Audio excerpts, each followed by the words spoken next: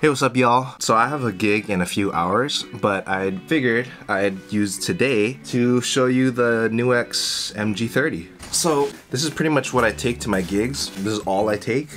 The pedal fits right in here. Have, come on, one and two quarter inches.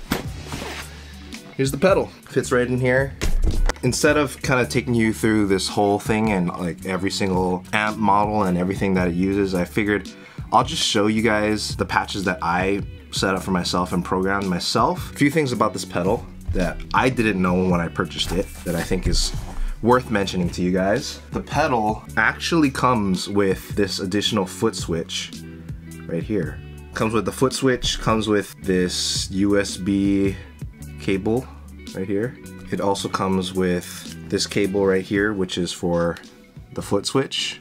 So this foot switch can be used for two additional, I guess kind of like scenes or I forget what the Line 6 equivalent is called. It's basically like patches within a patch. I actually don't end up using this because I only want to bring this to my gigs. I don't want to have to bring anything else. So I just use this but I figured I would mention that it does come with two additional foot switches. I thought I would have to buy that, but yeah, it comes with it and you can use this if you want to. So I'm gonna go ahead and set this up. I'll be recording this straight into my Apollo Twin.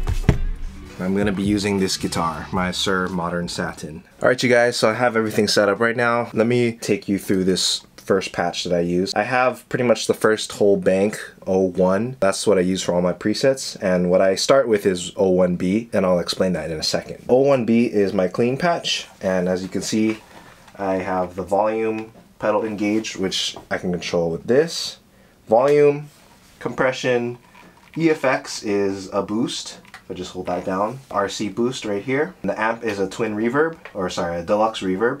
And then I have the IR, some EQ, and then reverb. And that sounds like this.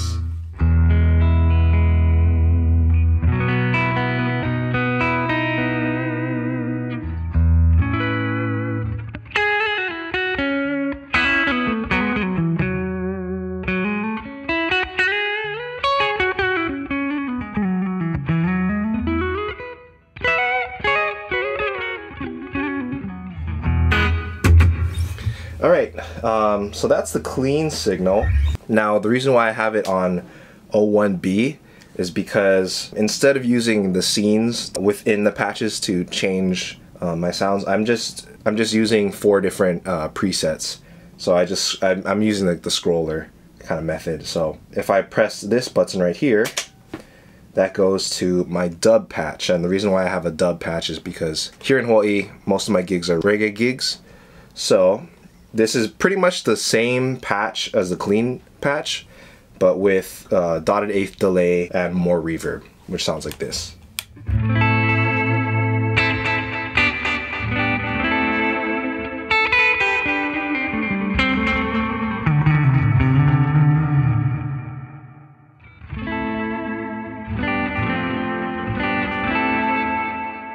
And the way I use that patch is I like to use the wah pedal and to engage the wah pedal you actually just press down on the volume pedal like so and you can see it's engaged.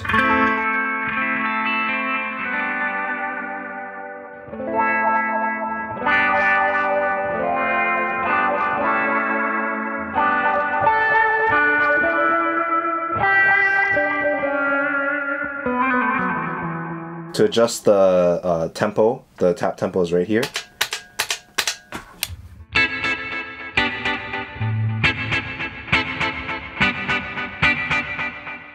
So one thing that maybe I just haven't figured out how to do yet, um, but one thing that I dislike about this pedal is the tap tempo is not global. It pretty much is set per preset.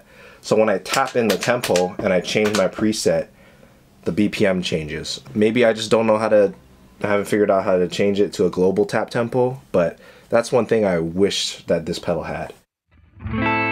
So that I wouldn't have to tap in the tempo each time um, I change a patch. And I know I could just use the scenes, but this is just how I'm using it right now. Okay, anyways, so that's the dub patch.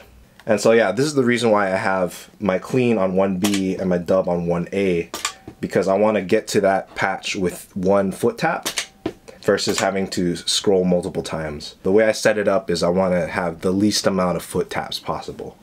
So dub, clean, and one more above clean is crunch.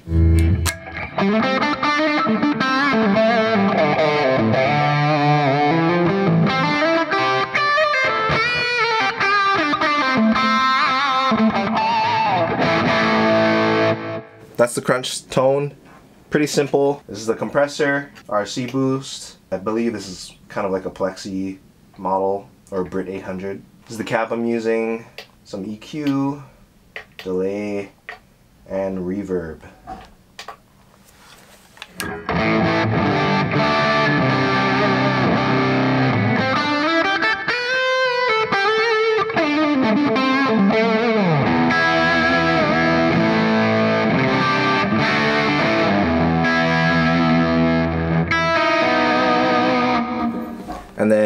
One more above that is my lead patch.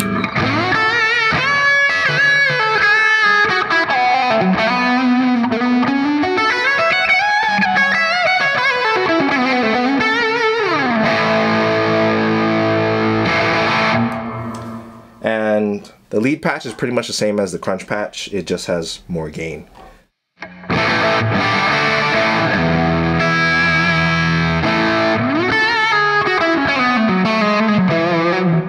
Oh, and also has a little bit more reverb. Sometimes when I get called for solos or whatever, I might use the crunch channel or I might use the lead patch for the solo. It kind of just depends on the dynamics of the song. Like if it's a relatively clean sound, uh, clean style song, I'll probably just go to the crunch because you don't want to have like a roaring super high gain lead uh, if the song is relatively mellow. But I do have the lead patch if I just need a little bit more juice.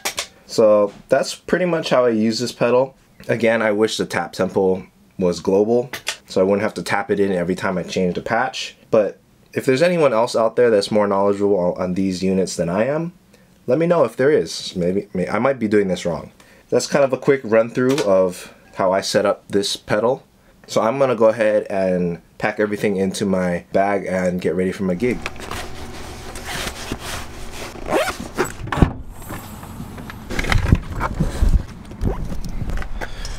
We're here.